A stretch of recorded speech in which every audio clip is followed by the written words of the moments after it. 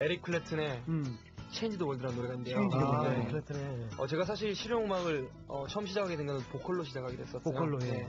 어, 노래를 공부를 하다 보니까 어, 피아노도 치게 되고 음. 어, 어, 점점 그렇게 악기에 관심이 갔는데 네. 에릭 클랩튼이라는 가수를 그 당시에 처음 봤었거든요. 어. 앉아서 기타 치는 모습이 아, 그렇게 멋있을 수가 없더라고요. 인상적이어서. 네. 내가 저걸 해야 되겠구나. 네. 어. 바로 느끼고 아, 내가 정말 기타를 쳐야 되겠구나. 어. 네. 아, 노래뿐만이 아니라 악기도 치면서 악기를 진짜 해야겠다. 음악을 해야 되겠구나 그런 생각. 이렇게 해서 여심의 마음을 내가 다 사로잡아야 되겠구나. 네. 어. 아, 정말 정말 멋있는 것 같아요. 얼마 그럼, 전에 네. 콘서트도 갔다 왔는데 아 정말 그 서울 내한 했을 때. 네, 정말 제가 표가 없어가지고 제일 네. 뒤에서 봤거든요. 그런데도 뭐 가슴이 울었습니다. 그 오디션 때도 이 노래를 불렀었겠네 한 번쯤은요. 아니요 오디션 때는 안 불렀었고 어. 어 오디션 때는 다른 노래 불렀었어요. 부른 적이 있죠 그래도.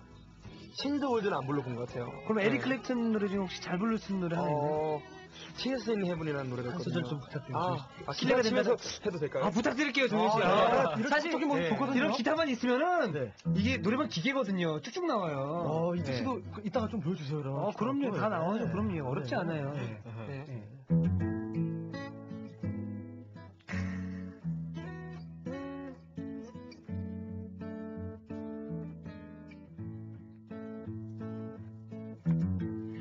네. 우주로만해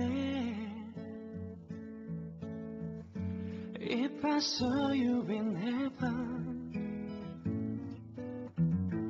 Would you be the same 네. 와 멋있다. 와 너무 멋있다. 빠져든다 그냥. 아, 네, 너무